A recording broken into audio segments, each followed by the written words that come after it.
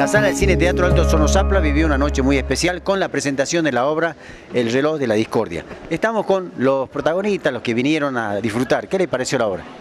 Me pareció muy interesante, este, algo muy cultural para la provincia de Jujuy. ¿sí? Eh, yo de a poco estoy asistiendo a obras teatrales, estoy estudiando teatro, me pareció muy interesante, tiene un sentido político, por supuesto, y además este, tiene un mensaje de trasfondo muy interesante, muy profesional, eh, me, voy satisfecho por lo que he visto, este, ojalá que se siga repitiendo y el público ha disfrutado de una gran puesta en escena.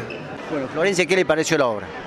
Me pareció muy interesante, ¿sí? Este, me parece que Asfora y el grupo de teatro han sabido adaptar el texto de Ovejero, le han puesto el condimento necesario, ¿sí?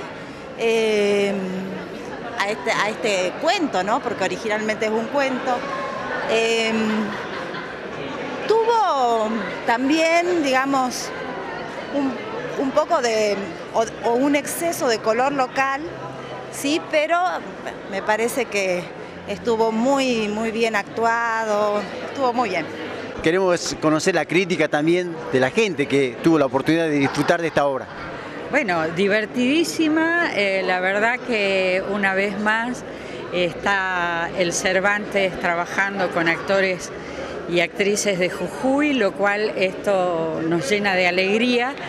Este, las experiencias siempre han sido muy buenas, por eso es que los volvemos a recibir, digamos, a la gente del Cervantes, dándonos una mano con el teatro del interior. Señora, ¿qué le pareció, qué le pareció a los artistas teniendo en cuenta que son jujeños?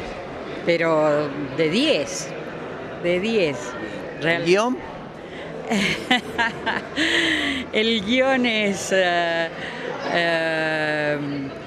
la verdad que, yo no lo conocía, este, está bastante divertido y, y, me alegra mucho porque es de un gran amigo del Edmundo Afora.